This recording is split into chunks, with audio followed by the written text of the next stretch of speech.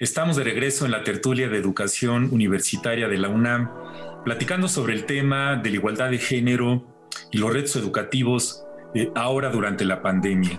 En, en, el último año, la pandemia transformó totalmente nuestras vidas. Recuerdo que en marzo del 2020 asistí a la marcha de las mujeres en el centro de la Ciudad de México, donde hace rato que checaba los datos, veo que en Wikipedia y en muchos medios dicen que eran 80 mil personas. Yo estuve ahí de testigo y fueron muchísimas más, con la frustración de no poder eh, llegar al zócalo, acompañando a mi esposa y a mis hijos.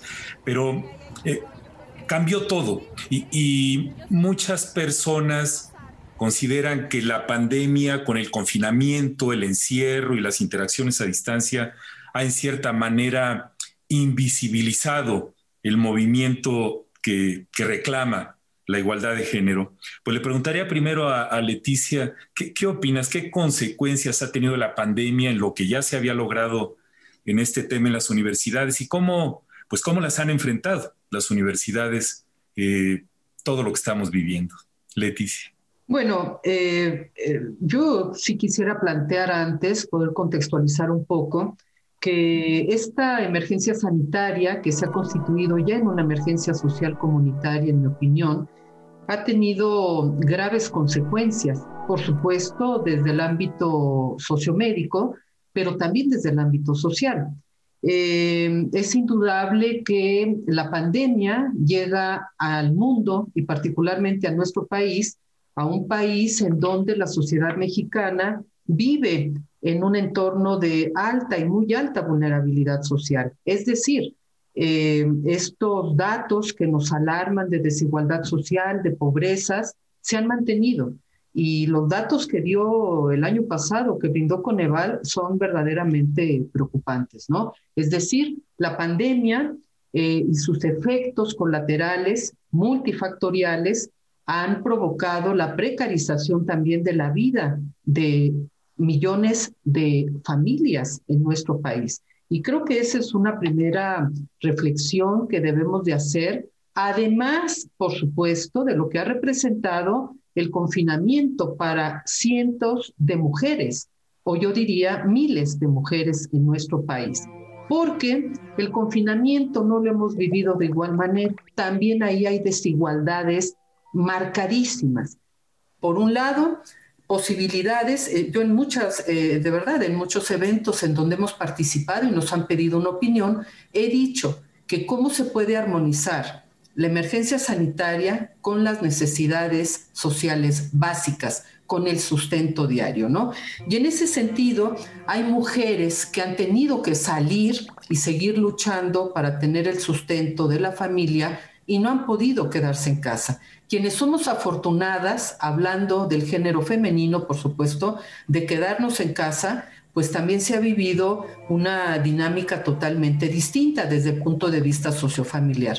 Pero, ¿qué decir de la violencia hacia las mujeres? Ahí hay datos interesantísimos y también preocupantes que el CIEG, el Centro de Investigaciones y Estudios de Género de nuestra Universidad Nacional, ha estado eh, estudiando, investigando, trabajando y retomando justo de todas estas llamadas de alerta, de alarma al 911 y a la Secretaría de Seguridad eh, Pública o Nacional que hay en nuestro país. Entonces, se ha vivido también en miles de mujeres, además de las violencias, la violencia de género y la violencia hacia las mujeres, que lamentable y lastimosamente se vive a diario en nuestro país, este confinamiento, esta pandemia, pero su confinamiento, el aislamiento físico, ha provocado la agudización de este flagelo, indudablemente. Entonces, además de incrementar, por supuesto, la labor doméstica, de jugar no un doble o triple, yo diría cuatro o diez papeles al mismo tiempo, cuidadoras,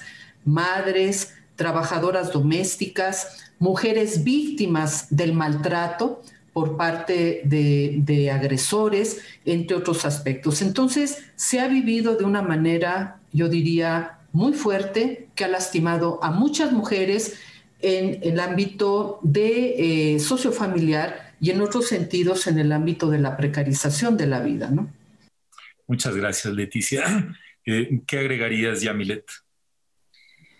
Yo agregaría que efectivamente el tema de la precarización que nos señalaba la maestra Cano eh, pone también en perspectiva y en una gran tensión una serie de conflictos de género al interior de las familias y en las relaciones de género, ¿no? Que tienen que ver y que justamente con la pandemia, recluirnos todos en casa, que tiene que ver con algo muy importante, que, que es este concepto que llamamos la carga de cuidado, es decir, todo el trabajo doméstico y los conflictos que están apareciendo ahora desde el home office a todo el trabajo, bueno, las que estamos integradas al mercado laboral, pero igualmente toda la reclusión, los problemas de hacinamiento, la distribución de los espacios, los conflictos entre el tema de todo lo que eso implica para la gestión de los alimentos, la distribución, el, la higiene básica la familia, el cuidado, los adultos mayores, etcétera, ¿no? Entonces yo creo que esa parte es muy importante verla y son conflictos que están generando también procesos de reconocimiento en la sociedad y en las familias de medidas. El gobierno también, el Instituto Nacional de las Mujeres también lo toma como un elemento importante de la política nacional para la igualdad, porque justamente se trata eh, compensar y de pensar, bueno, primero yo creo que de una labor muy importante, que es una demanda histórica del feminismo, que es el reconocimiento y la visibilización del trabajo no doméstico, del aporte del trabajo doméstico no remunerado, ¿no? O sea, efectivamente hay una necesidad eh, política y subjetiva y cultural, ¿no? Y pues como ya se señalaba antes, también el tema de la violencia por medios sexuales eh, efectivamente es una, si hablamos de prioridades, que lo planteaste al finalizar el último, el primer segmento, pues es de esos primeros temas que significaron una movilización. Yo para retomar el tema diría y cerrar que hubo una cierta desmovilización, ¿no? Pero creo que, porque pues en realidad desmovilización territorial, pero creo que las redes siguen jugando un papel importante, Creo que socialmente se siguen gestando cambios porque no es un asunto de ideologías y de partidos únicamente, es un asunto de eh, realmente el reacomodo y los cambios y las contradicciones y conflictos que se están suscitando en las relaciones de género al interior de los hogares en este contexto de pandemia que ha implicado regresar. ¿no? Yo de hecho termino señalando que a la demanda de violencia, es tiempo ya de que empecemos a agregar la demanda del trabajo en estas nuevas condiciones. Así es, muchas gracias. Mónica. Sí, bueno, obviamente eh, coincido eh, plenamente en lo que han comentado Leti y Yamilet con respecto a, dos de las grandes áreas eh, que, que, la pandemia ha afectado en, eh, a, las mujeres que tiene que ver justo con, con, lo que el feminismo ha llamado esta división sexual del trabajo, ¿no? A la que hicieron referencia eh, mis compañeras y que eh, muestra o pone evidencia cómo los roles y los estereotipos de género han tradicionalmente asignado a las mujeres este papel de cuidadoras dentro del entorno familiar y esto pues trae como consecuencia una distribución desigual en las responsabilidades de, de, los cuidados y de las tareas domésticas, ¿no? Eh, coincido plenamente en lo que, en lo que comentan y, y obviamente esto también ha tenido un impacto real en, la vida de las universitarias a nivel mundial, ¿no? Yo voy a dar solo un ejemplo. Eh, a mediados del, mes de abril eh, del año pasado, la doctora Elizabeth Hannon, directora asistente de The British Journal of Philosophy of Science, comentó públicamente en Twitter sobre una dramática disminución en la presencia de artículos enviados por académicas mujeres, ¿no? Y ella escribió que nunca había visto nada igual.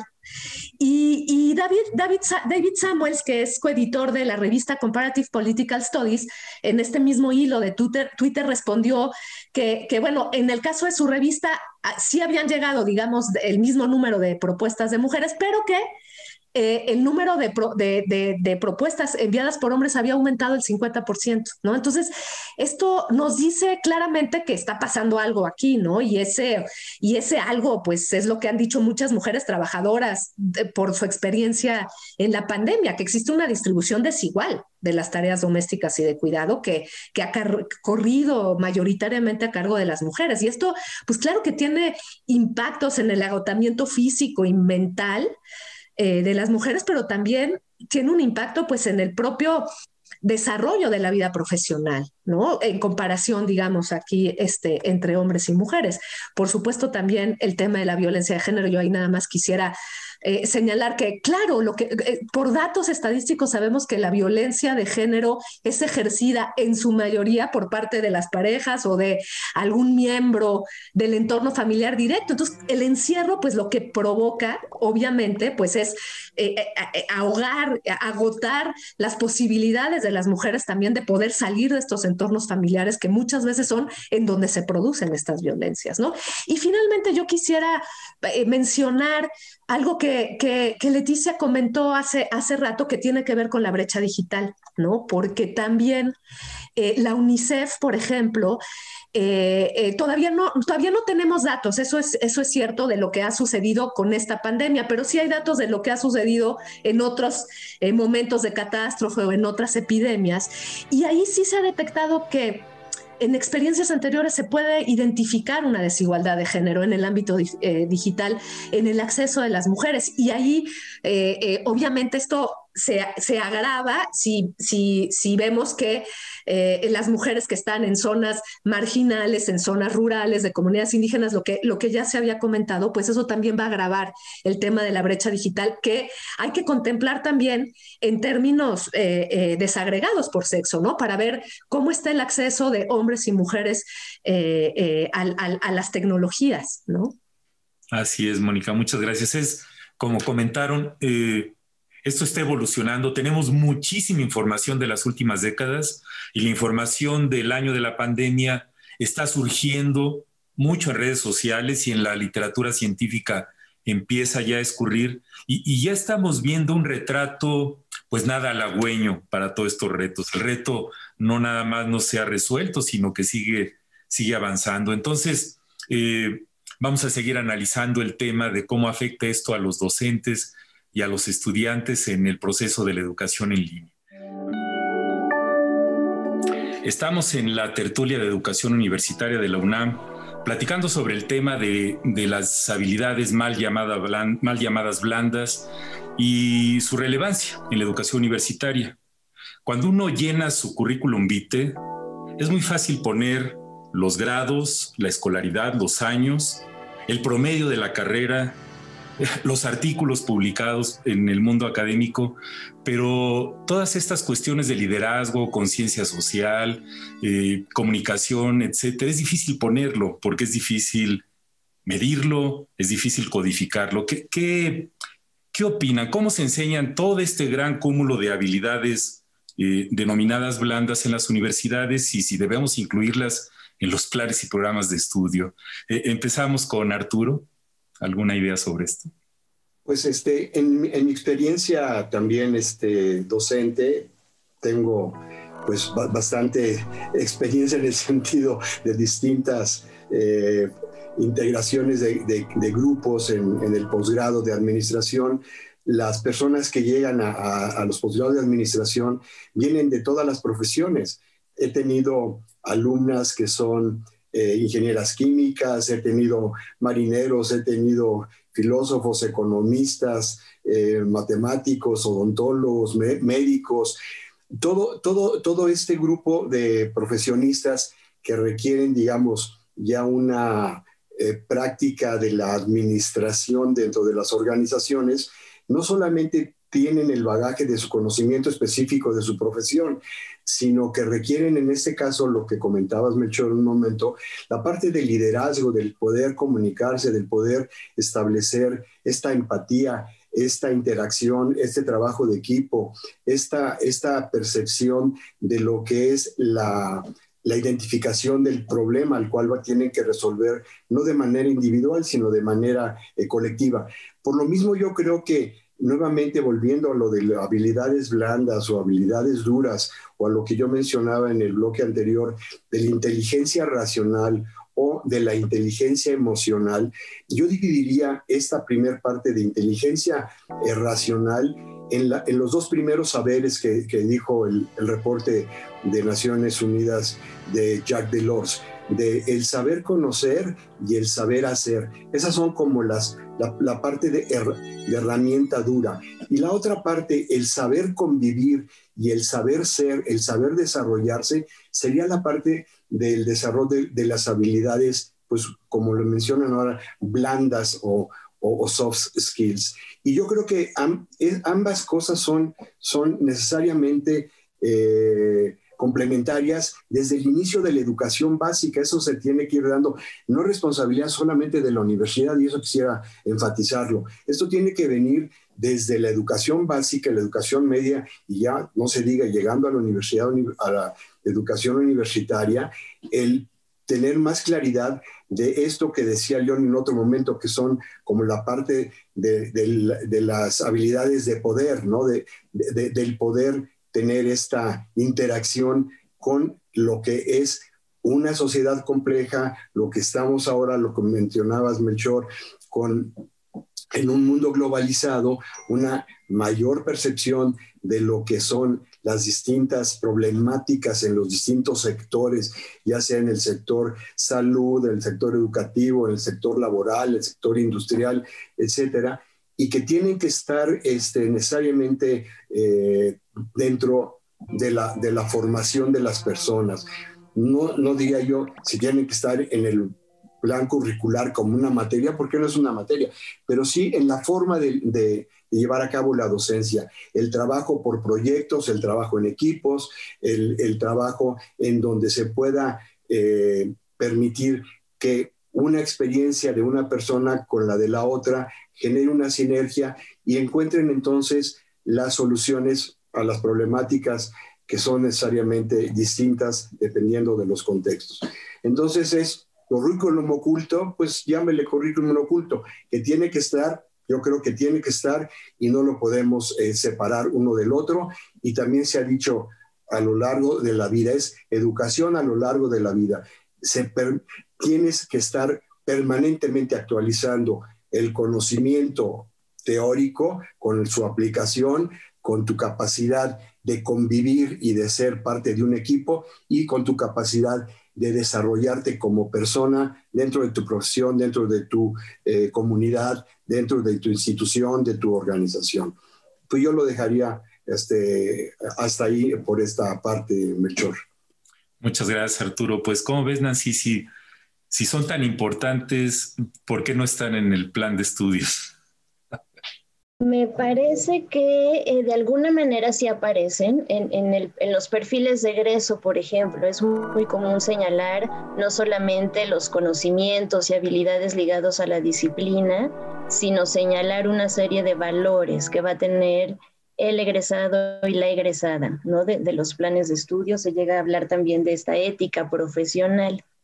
No obstante, eh, me parece que, requiere de hacer de manera más explícita esto justamente y de forma transversal. Coincido en que no, puede ser una, asignatura aislada, sino realmente una manera de, en la que permee las prácticas docentes en el aula. Tiene que ver también con esta formación o el desarrollo de estas habilidades en, las y los docentes, ¿no? Tiene que ver con, toda la comunidad universitaria sumándose al desarrollo de estas habilidades y me gustaría pues eh, eh, ahondar un poquito más en el cómo se enseñan en las universidades estas habilidades. Yo creo que, que hay distintos componentes o distintos mecanismos aislados, ¿no?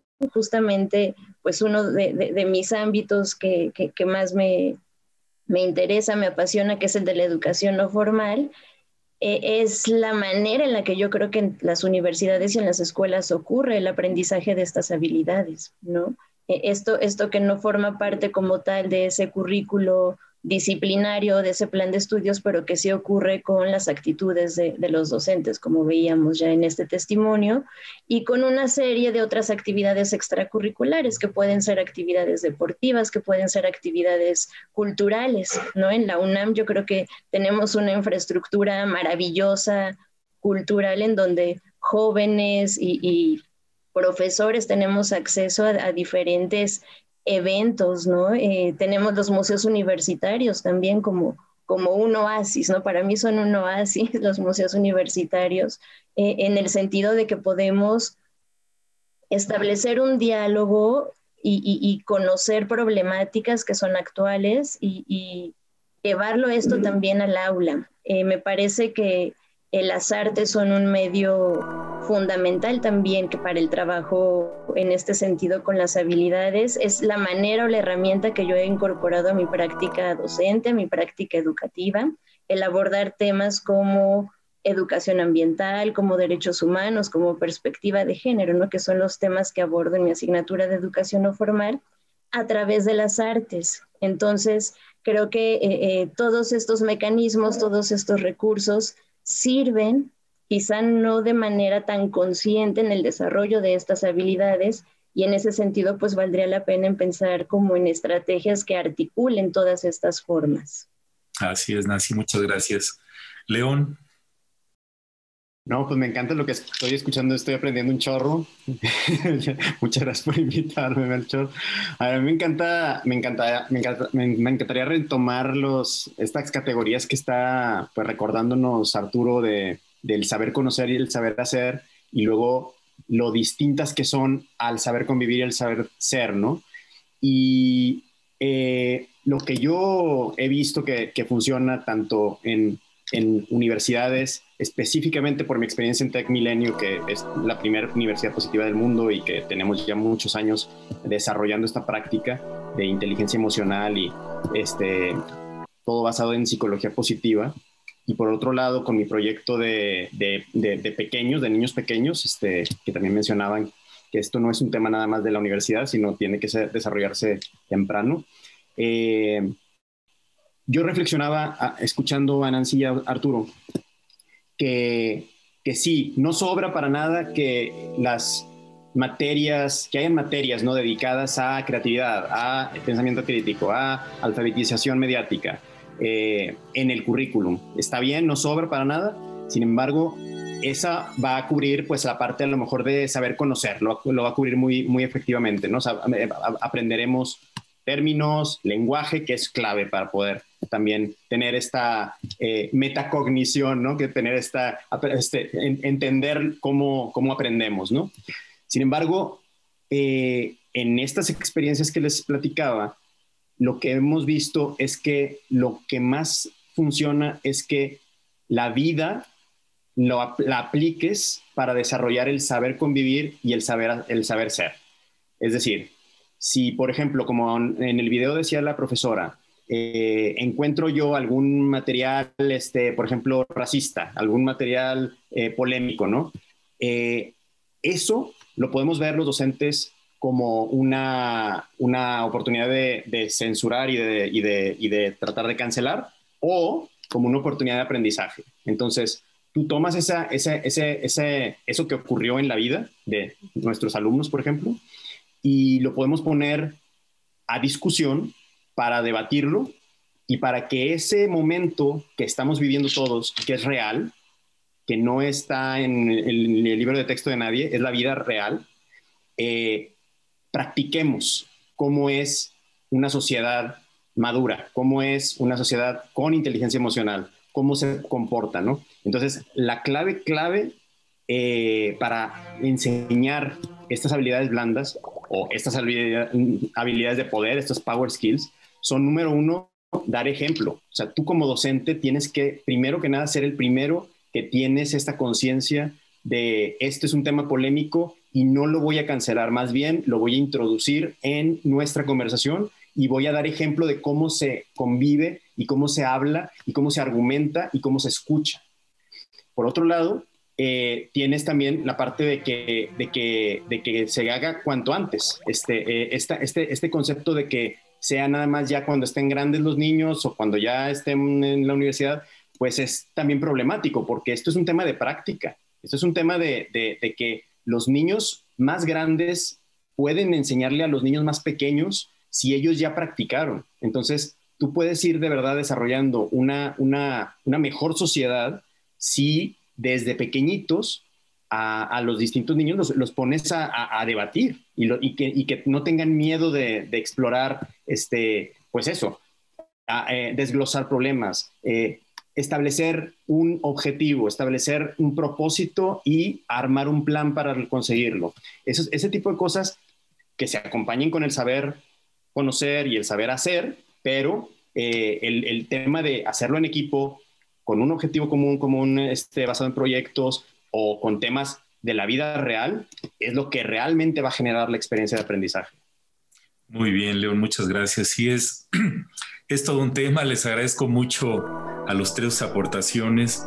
Eh, las universidades tenemos mucho trabajo que hacer en este tema porque estamos muy centrados y muy acostumbrados a la manera, entre comillas, tradicional de enseñar, ¿no? Y tenemos nuestros planes de estudios, nuestras mallas curriculares y todas estas cosas, de alguna manera la expectativa, como dijo Nancy al final, es que hay un perfil de egreso que sale superman o supermujer y de repente ya son ciudadanos ideales para interactuar en la sociedad.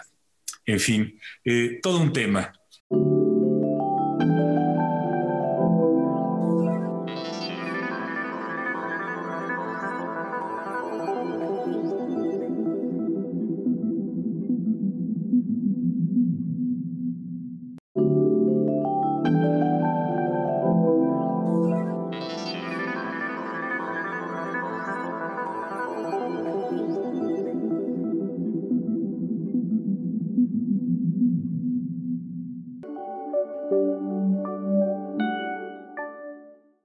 Regresamos a la tertulia de educación universitaria de la UNAM con el tema de igualdad de género en las universidades durante la pandemia. Pues es el, último bloque del programa. Quisiera preguntarles a nuestras panelistas eh, alguna reflexión final que tengan del tema. Ojalá esto se pudiera enseñar en todas las carreras, ojalá los cursos de formación docente de todos nuestros profesores incluyeran estos temas. ¿Qué, mensaje le darían a, nuestra audiencia eh, como conclusión final y reflexiones de este punto? Yamile.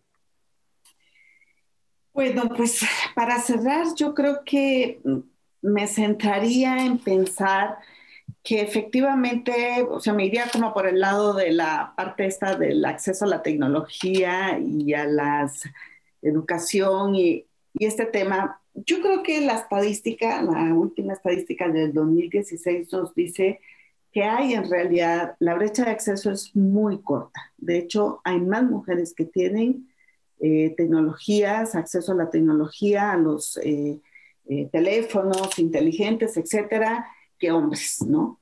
La diferencia está en el uso y en el tiempo, ¿no? En el uso de las redes y de los mecanismos y en el tiempo para acceder y destinar y usar esto.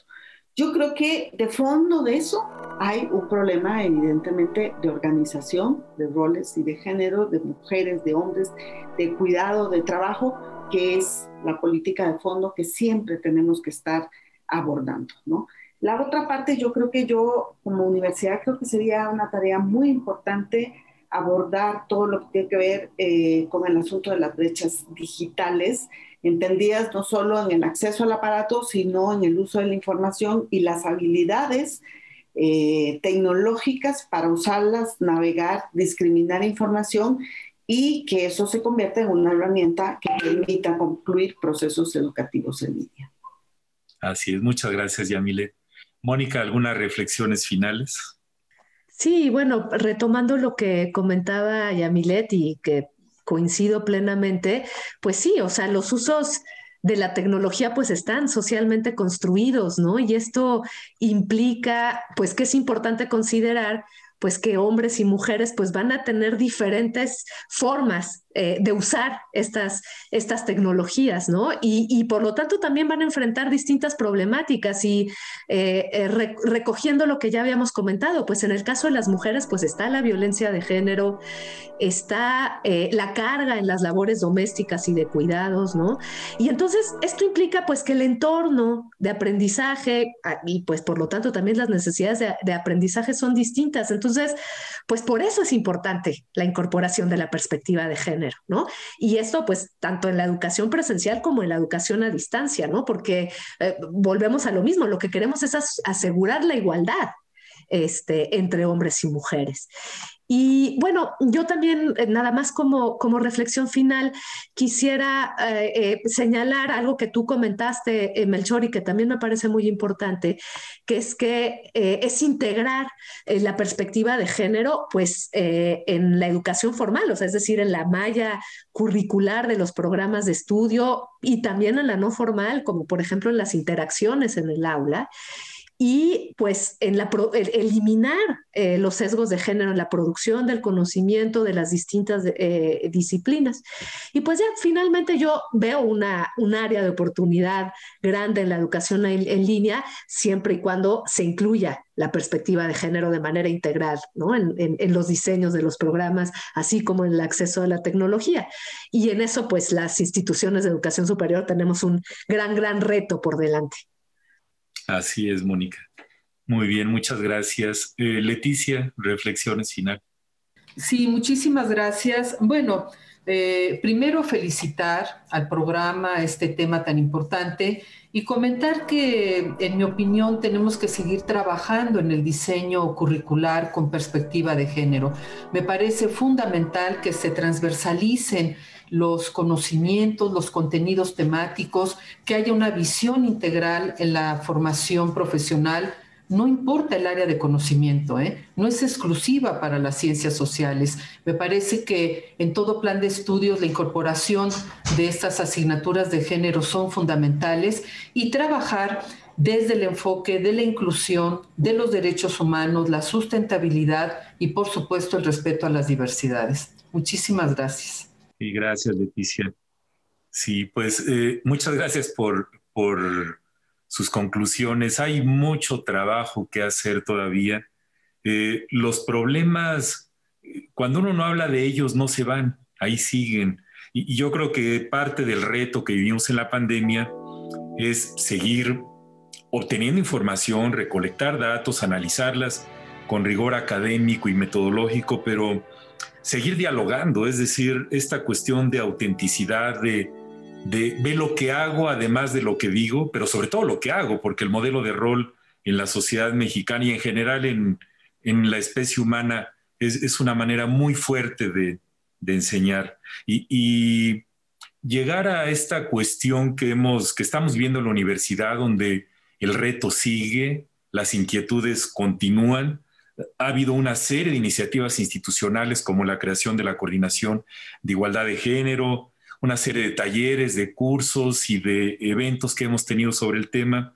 Y, al final del día, eh, sí deberíamos de, de, agarrar esta palabra que está muy de moda ahorita en todo el mundo, ¿no? Esto que, que en inglés le llaman allyship, esto de aliado, que en español se oye un poquito raro, pero es esta parte de te entiendo, estamos hombro con hombro, poner los pies en la tierra todos juntos y trabajar. Eh, hay muchas cosas por delante.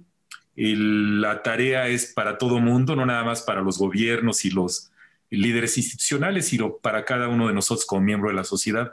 Y en las universidades tenemos un papel pues muy importante que jugar, como ya comentaron, en, en términos de la docencia y de los planes de estudio.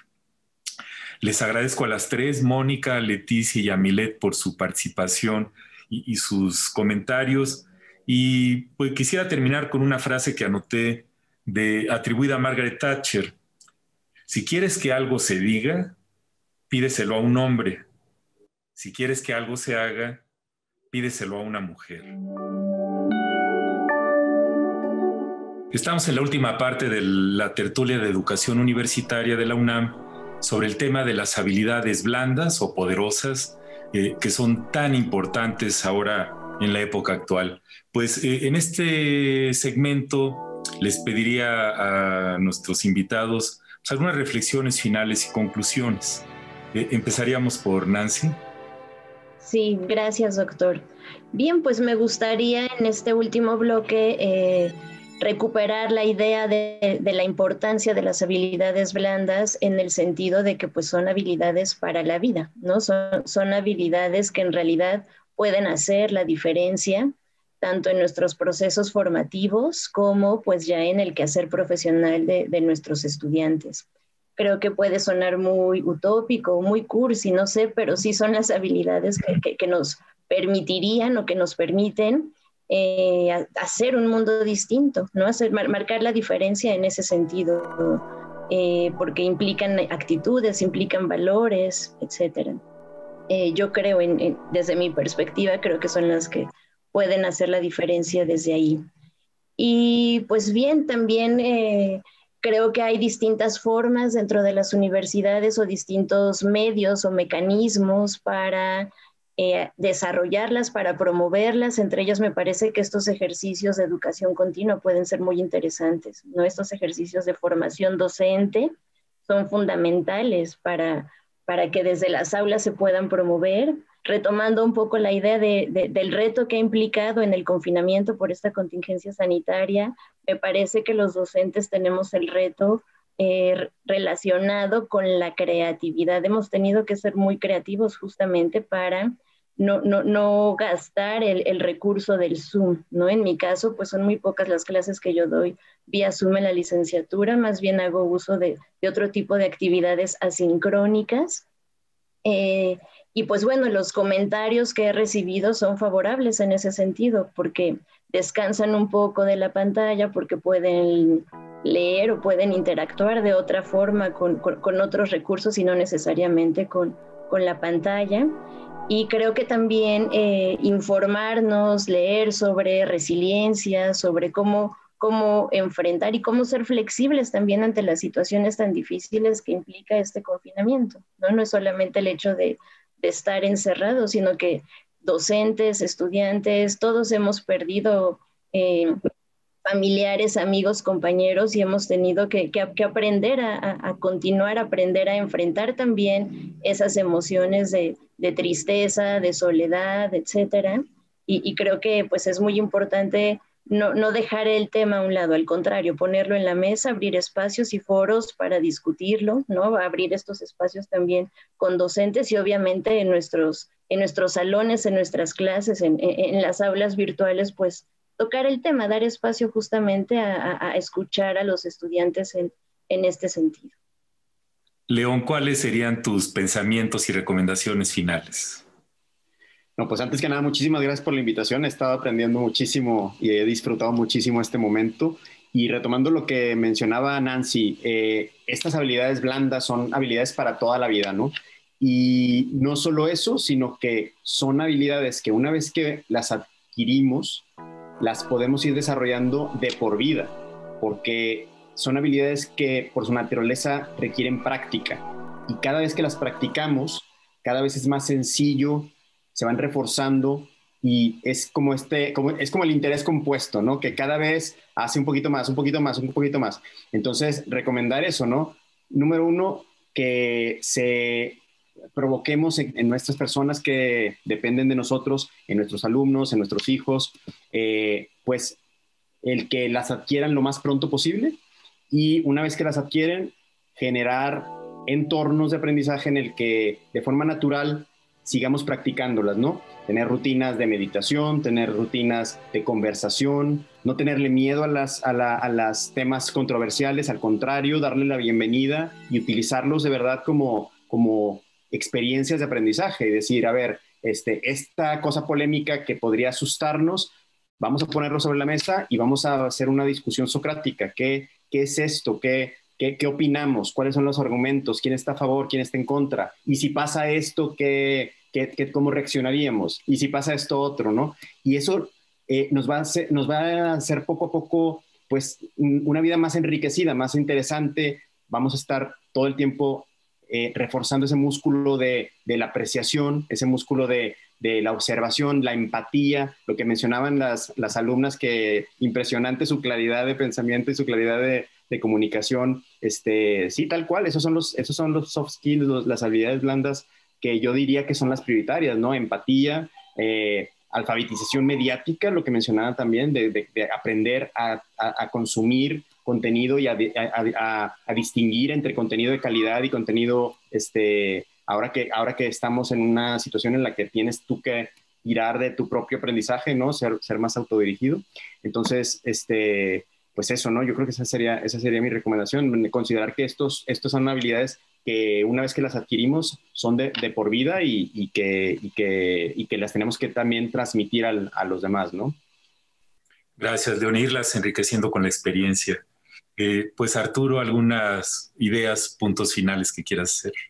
Eh, pues simplemente para, para, redondear algo de lo que ya dijeron Nancy y León, que creo que han apuntado muy claramente a la importancia y a la necesidad de ser más flexibles y de buscar una mayor participación de los estudiantes en, en ya sea en, la, forma eh, presencial o en, o en, este esquema que tenemos ahorita de educación este, a distancia, el que haya esa posibilidad de la participación de la comunicación de, los alumnos, porque eso va a permitir que expresen sus ideas, que tengan esta empatía con respecto a lo que digan las otras compañeras o compañeros, que haya un diálogo, que haya confrontación de, de posiciones, que esto busca la, pues, la, la, integración y la sinergia de la creatividad y la innovación. Y esa son la parte blanda. Lo demás, pues es la parte que ya tuvieron como la parte del marco teórico o lo que pueden ir aprendiendo, lo que decíamos de los cuatro pilares de la educación. Yo terminaría volviendo con el, con el primer planteamiento de los cuatro saberes, del el saber conocer, el saber, el, el, el saber hacer, el saber convivir y el ser a lo largo de toda la vida sirve desde hace varias décadas y servirá como un buen marco de referencia para que haya un buen desarrollo de una actividad eh, comunitaria, de esto que hablaba también el maestro Rodolfo Stavenhagen en, los planteamientos de la UNESCO de, Jacques Delors, de una ciudadanía global, de ser eh, más empáticos al multiculturalismo, al, al, no tener este problema que estamos viendo día con día de los fundamentalismos, de los fanatismos o de la parte del sectarismo, ¿no? Entonces, somos una comunidad global y habrá que convivir de manera consciente globalmente. Gracias, Arturo. Es increíblemente relevante todo lo que han dicho. Eh, cuando hablamos entre, entre médicos decimos, a ver, necesitas una cirugía del corazón, por poner un ejemplo. ¿Quieres que te opere un cirujano que sea súper fregón para la cirugía de corazón y que no cometa absolutamente ningún error eh, en la operación? Caray, pues claro. O, prefieres que sea un médico muy buena gente, empático, sonriente, comunicador, agradable, con habilidades eh, de liderazgo? Pero que no sea tan buen técnico. Entonces, todo el mundo dice, caray, yo quiero a los dos. Y, es esta parte tan importante de que los seres humanos somos cada uno un todo indivisible con todas nuestras virtudes y defectos y que la parte técnica y la no técnica conviven. Y, yo nada más terminaría pidiéndoles que reflexionaran. No se trata nada más de cuáles son más importantes o no, tradicionalmente se han despreciado un poco esto que llamamos habilidades blandas, pero ¿cuáles son más importantes para triunfar en la vida? Y ahí sí depende de cómo definas éxito, ¿no? Si es la cuestión financiera, la cuestión de la felicidad personal y familiar, el poder, el hacer el bien, el interactuar con los demás o cualquier combinación de estas. Yo, yo lo que eh, diría para terminar, caray, son tremendamente importantes debemos de tomarlas en cuenta desde la educación preescolar hasta el currículo de 60 años, que es después de que nos graduamos hasta que dejamos de ejercer cualquier profesión o de ejercer, por decir así decirlo, la vida. Pues Nancy, León y Arturo, les agradezco muchísimo su participación. Ha sido eh, fascinante escucharlos y el tema da para mucho. Ojalá podamos vernos en una tertulia subsecuente. Muchas gracias por acompañarnos. Estamos en la tertulia de educación universitaria de la UNAM platicando sobre el tema de literacidad y los efectos de la pandemia. Eh, en este último bloque eh, de reflexiones finales, eh, por ahí hay una frase de Mark Twain que decía que el hombre que no lee no tiene ventajas sobre el hombre que no puede leer.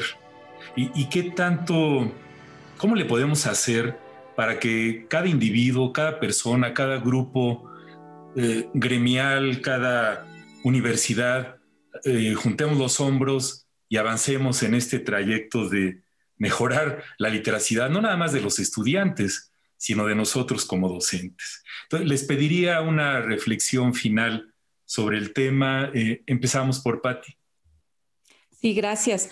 Bueno, yo, lo primero que diría es que eh, es la pandemia es una oportunidad de innovación educativa y de ampliación de nuestros entendimientos de la literacidad. Entonces, eh, que debemos retomar el diálogo entre pares, que es una cuestión sumamente importante, para pensar y repensar en nuestra tarea educativa hacia dónde va eh, nuestro trabajo. Em, quizás eh, no con una visión catastrófica, sino una visión optimista, como lo plantea Margarita, me gusta eh, su optimismo, pero también con una visión crítica, porque es muy importante reconocer que no se ha estado desarrollando eh, el pensamiento científico como, como quisiéramos para responder a este tipo de circunstancias, porque es importante reconocer que, bueno, si no avanzamos siquiera en la comprensión de la lectura y la escritura, ¿cómo podríamos avanzar también en, la, en, un desarrollo para, la, para el pensamiento crítico? Em, entonces, creo que tenemos una oportunidad de oro precisamente para poder eh, ampliar nuestro entendimiento, aprovechar que la reforma al artículo tercero constitucional ya incluye esta palabrita y, decir, bueno, pues empecemos también desde, en todos los niveles, como, como lo dije, ¿no? Desde, desde el nivel macro hasta el nivel micro. Eh, los estudiantes eh, también nos aportan mucho aprendizaje a través de sus vivencias, de sus pantallas cuando, cuando las encienden y vemos las condiciones en las que viven y nos percatamos de la, de la brecha digital que existe. Y, y, es muy importante retomar eh, en, esta, eh, eh, en esta nueva, en este nuevo entendimiento de la educación, la emocionalidad. Definitivamente somos personas, es una nueva era, es una nueva época, los medios nos están moviendo y es importante también darnos las pausas para reflexionar sobre esto. Así es. Perfecto, Pati, muchas gracias. Sergio. Sí, mira, Melchor, yo pensaría que, es una oportunidad ahorita, eh, sí, para subirnos a, lo que nos plantea el nuevo mundo digital, el nuevo mundo multimedia, pero también es una oportunidad para fortalecer eh, capacidades y habilidades fundamentales del ser humano que están desde siempre.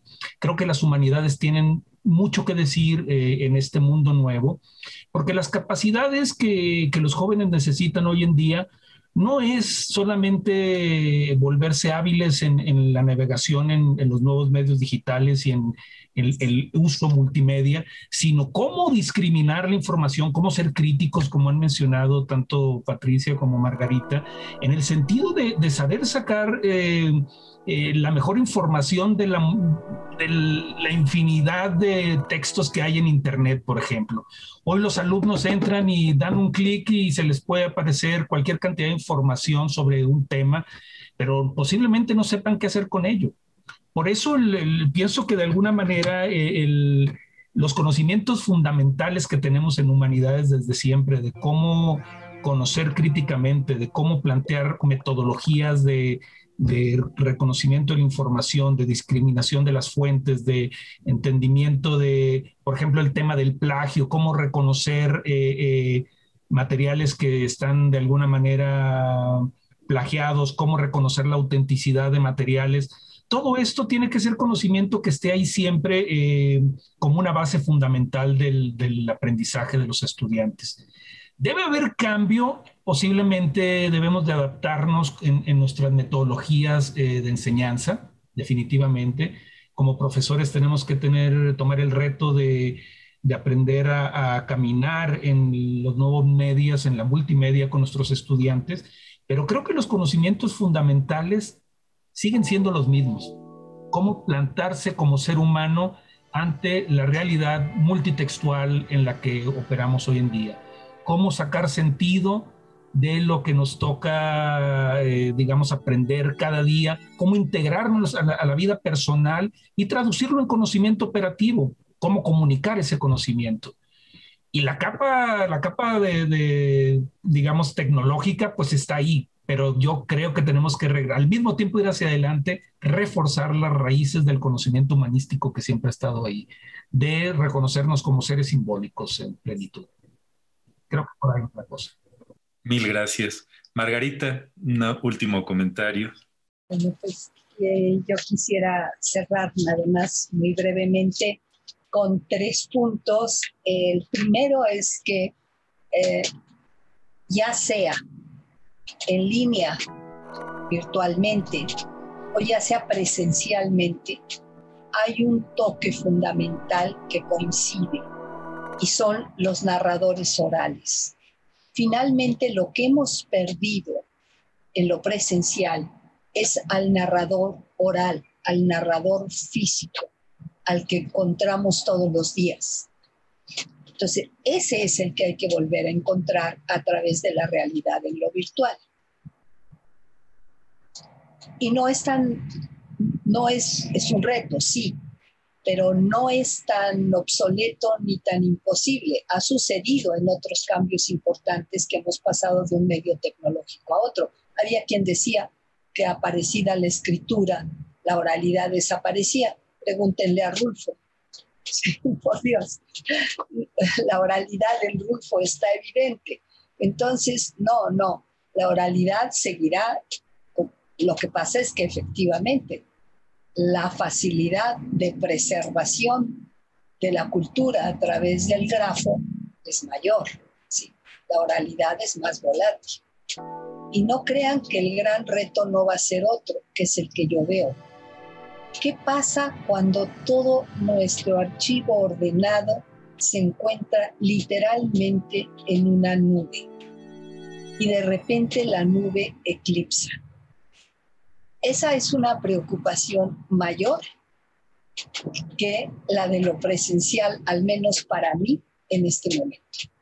Los sistemas de la ingeniería no nos están dando la seguridad de que nuestros archivos guardados permanezcan. Están más volátiles que la, biblioteca quemada tres veces de Alejandría. Entonces, cuidado. Ese sí es un punto y ese sí es un reto tecnológico. El otro es un, técnico, es un reto político. El, el reto político es aquellos países que efectivamente van a estar a la vanguardia son aquellos que pongan atención a los medios digitales, indiscutiblemente. Mientras se siga creyendo que la ciencia y la tecnología, y lo digo por lo que pasa en nuestro país, son obsoletos, los únicos obsoletos son ellos. Si no, si no se atiende desde el punto de vista político, no va a pasar nada grave, simplemente te retrasas y ya vendrá otro que nos adelante. Tampoco es tan grave. Y desde el punto de vista social y educativo en consecuencia, porque la educación es parte de la sociedad, es un gran avance. Es un gran avance y la, la pandemia vino a ayudarnos a empujar y hacer conciencia de nuestro atraso, de nuestra deficiencia y de nuestras enormes posibilidades todos estamos aprendiendo a manejar de maneras más dinámicas este acercamiento. Y finalmente, creo que hoy con los, las, todas las redes y las formas digitales, estamos llegando a un punto maravilloso. Todas estas formas digitales, todos mis colegas y yo misma estamos haciendo análisis en discurso de redes. ¿Qué es eso? Son documentos de nuestro alter ego. Es decir, estamos viendo una polifonía de voces en las redes que no teníamos ni en Radio Pasillo de nuestras facultades. Y esto es muy importante. Ahí se genera el pensamiento crítico, en la oposición, no en la coincidencia. Se equivocan los dictadores que creen que en la coincidencia progresa. Progresan ellos, pero no progresa la sociedad. No puede haber democracia sin oposición. Y por eso es tan importante este camino polifónico a través de las redes. Y nuestros muchachos están más metidos que todos nosotros. Ahí están construyendo un pensamiento crítico. Así es, Margarita. No me equivoque. Caray, muchísimas gracias por tus pensamientos. Yo creo que eh, el asunto de la literacidad tiene tantísimas aristas. Se me ocurre ahorita también la literacidad en salud tan importante en la época actual pero me, encanta tu optimismo. Yo creo que, como decía Alicia en El País de las Maravillas, eh, no tiene utilidad volver al ayer, porque entonces era una persona distinta.